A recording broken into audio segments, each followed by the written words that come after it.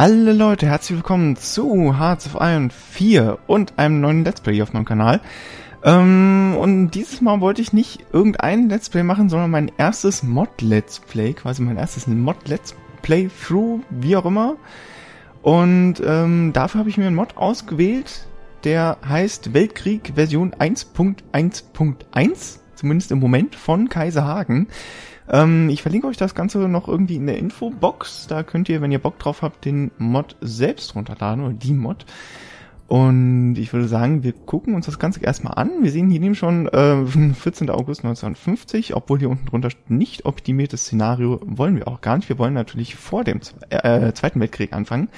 1936 und hier sehen wir auch schon ein bisschen was, was sich verändert hat. Also die äh, meisten Nationen sind gleich. Wir haben hier Frankreich, UK und da fängt es auch schon an hier, Osmanisches Reich. Ähm, ist schon was Neues, aber ich sag mal, die wirklich beiden Stars von diesem Bildschirm sind hier einmal ähm, Kaiser Wilhelm III. als deutsches Kaiserreich und Karl Renner als Vereinigte Sch Sch irgendwas. Steht es hier unten? Vereinigte Dingsbums, warte mal. Machen wir anders. So, wir gehen jetzt mal hier drauf und da seht ihr auch schon ein bisschen was hat sich verändert. Äh, Vereinigte Staaten von Großösterreich. Das ist es. Und ähm, so wie ich das verstanden habe von der Modbeschreibung her, ist das Szenario, dass ähm, Deutschland, Österreich den Ersten Weltkrieg und natürlich das Osmanische Reich hier unten, äh, nicht zu vergessen, ja, ähm, den Ersten Weltkrieg gewonnen hat also nicht so wie es in äh, Realität war, dass die Alliierten hier, die Westmächte, äh, den ganzen Krieg gewonnen haben, sondern die andere Seite. Und ja, ich fand das mal ganz spannend, weil natürlich jetzt auch hier das Vereinigte Königreich, sehen wir es hier? Ja genau, hier ähm, so Modifikatoren hat wie verlorener Stolz. Die Niederlage im Großen Krieg nagt am Stolz der Briten. Ähm, Frankreich dürfte etwas ähnliches haben. Erster Weltkriegstrauma gespaltene Regierung. Ja, das haben die auch sonst. Und nach Rache streben hier, oh, die haben sogar Plus. Das ist sogar ein guter Modifikator hier. Rekrutierbare Bevölkerung ist äh, 0,8 Prozent. Ich weiß nicht, ob das Plus oder Minus oder generell nur 0,8 Prozent. Ähm, Armeemoral allerdings plus 5%, Baugeschwindigkeit, Militärfabriken plus 2%, das ist schon ziemlich gut. Ähm, Spanien, ja, ändert sich nicht wirklich was dran. Allerdings sehen wir hier schon, ein äh, größerer Teil in Nordafrika, Nordwestafrika gehört auf einmal dem Deutschen Kaiserreich. Ähm, hier der ganze Batzen, der normalerweise Italien gehört, gehört äh, dem Osmanischen Reich. Äh, ja, natürlich hier ganz äh, Israel, also heutzutage Israel, Halbinsel Sinai und so, das ist auch alles noch im Osmanischen Reich. Ähm, Königreich Persien existiert britische, also normalerweise ist noch hier Irak und Iran, oder? Ja, Irak, Iran hier so. Ähm, Britisch-Indien ist äh, anscheinend noch irgendwie unter, unter Britannien, also unter dem Vereinigten Königreich. Ah, guck mal hier, ganz Zentralafrika, einmal Deutsches Kaiserreich, Südafrika, äh, keine Ahnung, wem ihr gehört. Demokratisches Regime. Müsste man dann gucken. Ähm, was haben wir hier in Ostasien? Ja gut, Singapur ist immer noch UK, das ist alles Niederlande. Äh, ja, da sehe ich schon ein bisschen deutsches Kaiserreich hier. Da glaube ich auch. Nee, das dürfte Portugal sein, ja. Die Farben sind ein bisschen schwer zu unterscheiden, muss man sagen. Äh, Kaiserreich Mandschurei, auch gut. Japan ist nicht ganz so groß, obwohl ich nicht weiß. Deutscher Militärberater, ah, okay. Das heißt, die scheinen irgendwie unabhängig zu sein. Also die Mandschurei ist irgendwie unabhängig von Japan, so wie ich das sehe. Japan sind allerdings äh, faschistisch. Und da kommt eigentlich so, was ich eigentlich ziemlich cool, äh, jetzt gucken wir hier gerade nochmal, Vereinigte Staaten, ja, oh, wir sind sogar ziemlich faschistisch und kommunistisch. Sind nur 58% demokratisch. Interessant. Hm, okay, hier tut sich nicht ganz so viel. Aber was ich halt sehr cool finde an diesem Mod ist, dass er nicht nur die drei, äh, also mehr oder weniger vier Standard-Fraktionen äh, hat, also faschistisch, demokratisch, kommunistisch und neutral, sondern auch noch eine vierte einführt, nämlich die Monarchie. Also sehen wir hier schon das Deutsche Kaiserreich ist äh, monarchisch, aber allerdings auch nur zu 58 Prozent. Äh, 23 Prozent demokratisch, ähm, 4% faschistisch, also die NSDAP hat hier unter Adolf, Vorsitzender Adolf Hitler, hat hier nicht ganz so gute, große Arbeit geleistet, wie man sieht. Und äh, Kommunismus unter Ernst Thälmann ist auch nur mit 15% da. Und eben die ganze Danzig-Krise ist auch nicht wirklich vorhanden. Also das Großfürstentum Polen existiert, ist allerdings auch monarchisch. Das heißt, die beiden wären eigentlich sogar sehr gute Verbündete, wenn man das so sehen möchte. Dänemark ist etwas geschrumpft. Ähm, Schweden hat sich, glaube ich, gar nicht so viel geändert hier. Ähm, Königreich Finnland, ich weiß nicht, ob die hier oben diesen Zipfel auch hatten, sind auch monarchisch, monarchisch. Ähm, Italien, gucken wir mal kurz, ja, faschistisch, da hat sich nicht allzu viel getan. Und natürlich das Osmanische Reich, ethnische Probleme, schwache Regierung, aber auch monarchisch. Und soweit ich weiß, bekommt das Osmanische Reich irgendwann eine Rebellion, wahrscheinlich hier die, die Beduinenstämme hier unten im Süden, die ja auch schon im Ersten Weltkrieg versucht haben, diesen Aufstand zu proben und es auch dann irgendwie geschafft haben, sodass nach dem Ersten Weltkrieg wirklich nur noch die Türkei hier oben wirklich osmanisch mehr oder weniger türkisch war und das da unten hat sich alles abgespalten. Aber was ich jetzt vorhabe für dieses Let's Play ist, wie ihr wahrscheinlich schon am Titel seht und am Thumbnail und keine Ahnung, äh, eine, ein Land zu spielen, was es im normalen Spiel nicht so ganz leicht hat, nämlich Österreich. Im normalen Spiel ist es so, dass irgendwann der Anschluss kommt und ja, dann ist vorbei für Österreich. Deswegen würde ich sagen, wir spielen Österreich, die im Moment ähm, eine sozialdemokratische Partei an der Spitze haben. Und Sieger des Ersten Weltkriegs, rekrutierbare Bevölkerung minus 0,2 Prozent. Eieiei, Zeit, um Kriegsziele zu rechtfertigen, plus 15 Prozent und Fabriken für Konsumgüter 5 Prozent. Äh, demokratische Bewegung, tägliche Beliebtheit, Demokratie, da, da, da, große Reformation, nationaler Zusammenhalt, politisches Wachstum, minus, Alter. Okay, die haben es auch äh, in jedem Spiel anscheinend nicht allzu leicht am Anfang. Ähm, jetzt kurz bevor wir einsteigen, wir bleiben natürlich wie immer auf regulär Ironman-Modus aus, einfach weil mir die Speicherzeiten da ein bisschen lästig sind. Und historische KI-Schwerpunkte sind hier sowieso etwas fehl am Platze, weil es absolut unhistorisch ist. Deswegen schalten wir die aus und starten einmal. So, jetzt ist mein Plan wie folgt. Also im Moment sind wir demokratisch. Ähm, weiß ich gar nicht, wie uns das hier irgendwie ja hilfreich sein könnte. Und wir, also wenn es nach mir geht, wollen wir nicht demokratisch bleiben. Jetzt schauen wir uns noch mal kurz hier ähm, unser Land an. Da wollte ich jetzt nicht hin.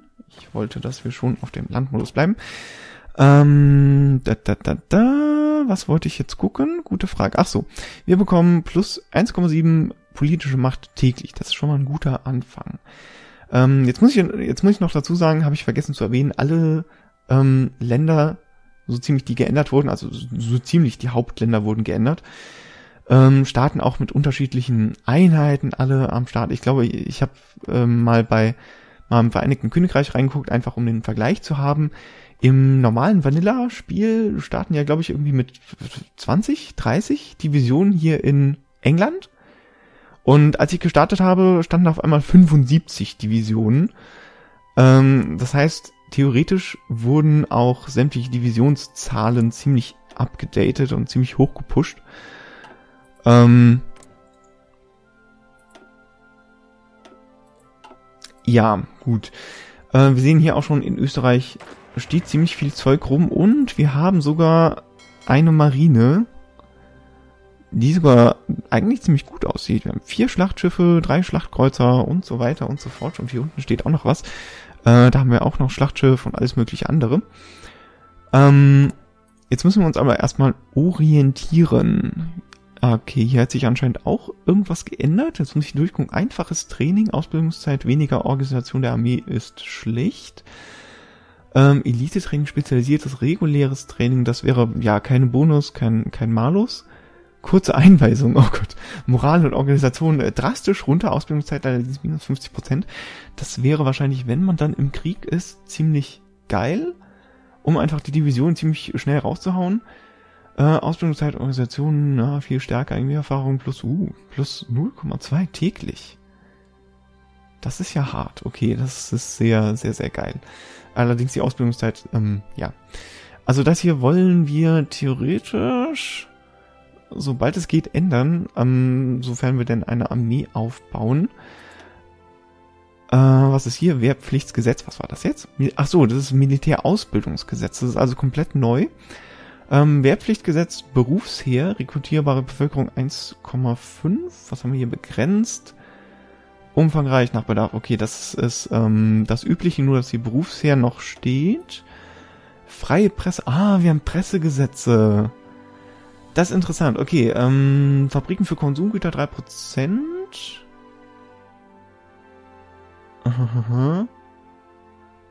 Ah, ich sehe schon, da muss ich mich vielleicht äh, zwischen den Folgen mal einlesen. Hier, Verteidigung gegen ideologische Beeinflussung minus 20%, ähm, Forschungszeit. Kriegspropaganda, Kosten für Umbau, Zeit, um Kriegsziele zu rechtfertigen. Das können wir allerdings im Moment nicht machen, da wir demokratisch sind. Ähm, wir können das generell alles nicht machen, weil wir demokratisch sind. Das heißt, alle Demokraten haben automatisch freie Presse. Was ist theoretisch Warte mal, warte, warte, warte, warte. warte. Ähm, Verteidigung gegen ideologische Beeinflussung, minus 20 Prozent. Das heißt, wenn wir jetzt ein demokratisches Land haben, wie zum Beispiel Frankreich, die ja schon ziemlich kommunistisch und ziemlich faschistisch sind, und, oder England, ja, oder die USA, die sowieso auch schon ziemlich faschistisch sind und alles, ähm, dann könnten wir die eigentlich ziemlich leicht beeinflussen, so wie das aussieht. Also das gefällt mir schon mal sehr gut. Ähm, allerdings, ja, müssen wir uns entscheiden, was wir dann nehmen, wenn wir nicht mehr demokratisch sind, weil ähm, ja, Forschungszeit ist eigentlich ganz gut. Propaganda ist auch sehr gut für die Moral und rekrutierbare Bevölkerung. Ähm, Zeitung Kriegsziel, politischer Machtzuwachs, zensierte Presse, Verteidigung. Ja, das, äh, das hier ist quasi das Gegenteil von Freie Presse und Widerstandspresse ist da, da, da, Auswirkungen Partisan. Das heißt, wenn wir okkupiert werden von unseren Feinden, dann sollten wir Widerstandspresse machen. Aber ich glaube, ähm, im Moment ist Freipresse eigentlich ganz gut wegen den äh, 5% Forschungszeit. Gut, das hier wollen wir wahrscheinlich nie, weil plus 3% Forschungszeit. Ähm, hm, hm, hm, das hier, Kriegspropaganda wollen wir eventuell, wenn wir uns auf den Krieg vorbereiten und Propaganda wollen wir, wenn wir im Krieg sind. Interessant. Freihandel Ah, Familienpolitik haben wir auch noch. Oh, je, je, je. Ähm, Freihandel hat, glaube ich, immer noch dieselben Boni, wie es auch sonst hat. Ist im Grunde genommen ziemlich gut. Ich weiß auch, dass die Leute hier die Ressourcen an uns verteilt haben. Wir haben ein bisschen Öl hier im Land. Daneben ist natürlich... Ähm, okay, was, was produzieren wir denn so? Wir produzieren sieben Öl, Aluminium, ziemlich viel, kein Gummi, kein Chrom, ziemlich viel Stahl und ähm, etwas Wolfram. Also schon mal mehr als im Vanilla-Spiel als im ungemoddeten Spiel. Ähm, wir, wir, produzieren ziemlich viel. Wow, krasser Scheiß. Ähm, allerdings Öl sind wir immer noch weit entfernt. Es sei denn, wir schnappen uns Rumänien hier, die natürlich jetzt mittlerweile, wo wir Österreich, Russ, äh, Österreich, Russland, Österreich, Ungarn quasi sind, direkt an unserer Grenze sind. Das heißt, ein früher Krieg gegen Rumänien wäre denkbar. Im Kaukasus ist immer noch hier die äh, wundervolle Ölquelle. Wen haben wir da?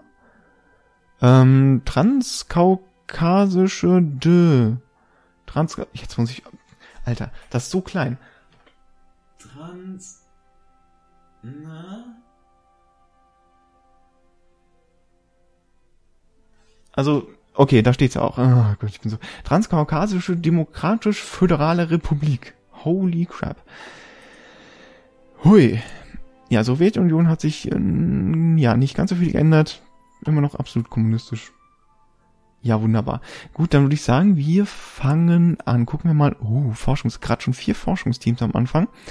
Ähm, mein Plan. Ich habe vergessen, meinen Plan zu erläutern. Und zwar, ich möchte nicht demokratisch bleiben und ich möchte auch nicht kommunistisch oder faschistisch werden, sondern ich möchte natürlich hier die Habsburger Monarchie wieder aufleben lassen. Ähm, einfach um es mal auszuprobieren, was so die monarchischen Boni und Mali sind irgendwie quasi. Und ähm, deswegen möchte ich das natürlich tun.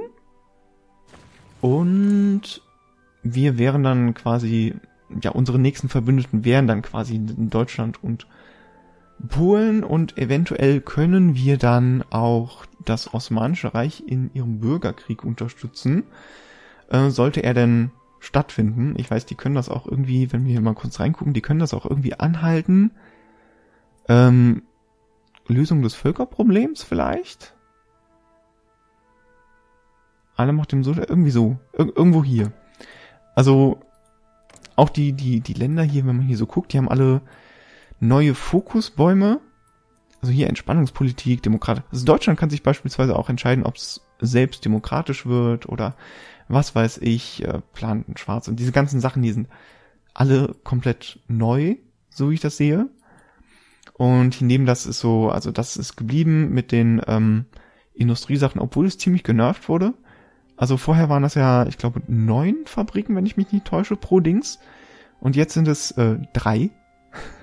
Also nicht mehr ganz so, ganz so mächtig, ganz so übermächtig, wenn man das so sagen mag. Ähm, hier der Baum wurde etwas geschrumpft, etwas vereinfacht. Und ähm, wir haben natürlich auch einen komplett neuen Fokusbaum, bis auf äh, diesen Teil hier neben, glaube ich, denke ich, den wir natürlich auch ähm, ja benutzen werden. Jetzt weiß ich gar nicht, gehen wir direkt hier neben rein oder gucken wir erstmal, dass wir hier, ähm, wo können wir das denn machen? Eiserne Faust, glaube ich, ja. Eiserne Faust. Eine der folgenden Bedingungen muss zutreffen. Monarchie mehr als 30 Prozent. Ähm, ba, ba, ba, ba, erhält Nationalgeist Eiserne Faust, wodurch tägliche Beliebtheit Monarchie plus 0,1 und der Nazi, ja, okay, demokratische Bewegung wird sofort entfernt, wenn wir das hier machen. Das ist natürlich sehr gut. Ähm, Kaiser hält die Macht. Okay, und hier kommen wir direkt auch schon an eine monarchische Regierung ran. Das heißt, wir sollten zumindest mal hier anfangen, hier da bis zu dem zweiten. Und dann eventuell auf Wirtschaft gehen. Aber gucken wir mal. Gehen wir erstmal hier auf ein bisschen politische Macht, weil gerade am Anfang ist das ja nie verkehrt. So, dann können wir jetzt hier gucken. Wir haben, also das hier jetzt auch ein bisschen, bisschen verändert, so wie ich das sehe. Ähm, aber das, ja, können wir eigentlich erst gucken, wenn wir da genug Punkte für haben. Ah, Familienpolitik habe ich noch nicht geguckt, genau. Ähm, nicht reformierte Familienpolitik. Ja, was auch immer das ja, das macht anscheinend gar nichts. Vernachlässigte Familienpolitik, wöchentlicher Zusammenhalt, uh, wenig, äh, monatliche Bevölkerung auch weniger. Und für Konsumgüter weniger. Fabriken für Konsumgüter ganz wenig, aber monatliche Bevölkerung, uh. Aha, aha, aha. Okay, hier muss man anscheinend ausgleichen, wie viel Fabriken für Konsumgüter ähm, gegenüberstellen, wie viele monatliche Bevölkerung oder Zusammenhalt oder sowas. Und je besser die Boni sind, desto mehr ähm, Fabriken muss man natürlich für Konsumgüter herlassen. Also im Moment, wie viel haben wir da? 18 Fabriken! 38% unserer Fabriken sollen für Konsumgüter. Holy shit. Ähm, wird das hier noch durch irgendwas anderes? Freihandel vielleicht? Nein. Zivilwirtschaft höchstwahrscheinlich, ja. Äh, Fabriken für Konsumgüter 30 Prozent. Ähm, Isolation, umgestellte Isolation. okay, das heißt, da wollen wir natürlich, ähm, wie in den anderen Playthroughs, so schnell wie möglich von weg. Und hier, ja, das können wir im Grunde genommen erstmal ignorieren. Gucken wir mal. Also die Forschungsbäume sind, glaube ich, ich weiß nicht, ob ähm, der Modmaker Mr. Hagen. Äh, wenn du das siehst, kannst du es ja vielleicht mal beantworten, ob du vorhast, die Forschungsbäume noch zu editieren oder irgendwie die zu ändern, weil so wie es aussieht, sind das einfach die Vanilla, also die ganz normalen Forschungsbäume. Und von daher würde ich sagen, wir machen auch einen ganz einfachen, ganz normalen Start. So, hier ist nichts vorerforscht. Ähm, 1918er Infanteriewaffen. Und, na, jetzt haben wir noch eins. Äh, Fallschirmjäger, bla bla bla bla. Das hier ist 38er Technologie. Ja, das hier ist auch alles schon, da könnten wir eigentlich das Feldlazarett machen. Obwohl Panzer wären eigentlich auch geil, ne? Ja, es ist auch der generische Panzerbaum, so wie es aussieht. Ähm, Artillerie auch 36er. Landdoktrin wäre auch geil, aber da warte ich, glaube ich, erstmal auf irgendeinen Typ in der Regierung. Deswegen würde ich sagen, wir erforschen das 34er leichte Panzermodell. So, freie Zivilfabriken. Dann würde ich sagen, machen wir... Holy crap, hat Österreich viele Provinzen. Wow. Würde ich sagen, wir hauen erstmal ganz äh, viele Zivilfabriken überall rein. Obwohl, nicht, nicht da. Nein, nicht an der Küste, weil da wollen wir das freihalten für, ähm, wie heißt's? Dingsies. Schiffs, Schiffswerften. Bam, bam, bam, bam, bam. Also sagen wir mal pro Provinz eine, es sei denn, also außer die Seeprovinzen, dann kann das hier erstmal so gebaut werden. Wie viel haben wir im Moment? 16 haben wir zur Verfügung. Freie Militärfabriken. Jetzt gucken wir gerade mal, was brauchen wir denn? Infanterieausrüstung haben wir ein bisschen, motorisiert haben wir quasi nichts. Artillerie, Zusatzausrüstung. Okay, also das übliche. Wie viel haben wir frei? Ganze, okay, ganze fünf Stück. Das heißt, wir machen das so, so, so. Ähm, ja, du bist relativ unbedeutend. Ja, und das war es eigentlich auch schon. Ähm, ja, für die Zeit können wir jetzt... Na, hier haben wir eigentlich nicht die Ressourcen für. Äh, was mache ich mit meiner Marine, ist die Frage. Ich weiß jetzt natürlich auch nicht, da wir hier so ein bisschen... Da das alles alternatives Universum ist, quasi, weiß ich nicht, gegen wen wir im Endeffekt im Krieg sein werden. Das könnte sogar sein, dass wir direkt mit Italien im Krieg sind, wenn die monarchischen Länder ähm, sich gegen die faschistischen Länder stellen. Ah ja, da müssen wir nochmal gucken. Also eventuell könnte es sogar sein, dass unser nächster Feind Italien wird und da bräuchten wir theoretisch eine gute Oberflächenmarine, obwohl so ein paar U-Boote schon nicht schlecht sind. Ähm, gucken wir mal, was ist denn so das neueste? Zerstörer. Okay, U-Boote sind super veraltet, das heißt, da können wir erstmal äh, ein bisschen weniger produzieren. Ich würde sagen, Zerstörer und leichte Kreuzer für den Anfang sind ganz gut. Ähm, das heißt, dich lassen wir erstmal auf einem. Zerstörer 2, Handelskonvois, ja, Handelskonvois sind auch in Ordnung. Ähm, sind das die aktuellen Zerstörer? Ja, das sieht ganz so aus. Wie viel haben wir frei? Zwei Stück, dann haben wir die gerade da rein. Und wollen wir hiervon wirklich vier Stück? Na komm. Machen wir nochmal eins, bis das fertig ist. Ähm, ich kann ich eigentlich auf unendlich stellen, weil Konvois brauchen wir eigentlich immer. Und von dir erstmal vier. Kommen alle in Istrien raus, so wie es aussieht. Und ja, eine Sache, die ich noch mache, bevor wir hier Na, das mache ich nächste Folge. Ähm, geringe Mannstärke, na, 147.000 ist jetzt nicht allzu wenig, obwohl wir ja Berufsheer haben. Ähm, wir brauchen Öl. Transkaukasische Demokratische Oh Mann. Ähm, ja, Han treiben wir mal Handel mit denen da. Und was brauchen wir noch? Gummi. Das Deutsche Reich hat Gummi. Ja, dann, dann nehme ich das doch von denen, würde ich sagen. Die direkten Nachbarn sind die besten Handelspartner. Und ja, alles klar. Dann ähm, gucke ich mir das gerade noch an, wie es aussieht mit den Divisionen. Das ein paar Gebirgsjäger. Ja, hier drüben sind eigentlich auch Gebirgsjäger gar nicht schlecht. Okay, dann würde ich das nächste Folge machen. So, und weil das das erste Video der Serie ist, nochmal als Erinnerung, wenn euch es gefällt, lasst mir einen Like da oder, keine Ahnung, wenn ihr neu seid, abonniert den Kanal. Ich würde mich super freuen. Und schreibt mir in die Kommentare, was ihr davon haltet. Und ja, ich würde mich freuen, wenn ihr das nächste Mal wieder dabei seid. Wie gesagt, ich werde hier jetzt so ein paar Folgen von aufnehmen und freue mich, wenn es euch freut, dass es uns alle freut. Und wir sehen uns das nächste Mal wieder. Bis dahin. Ciao.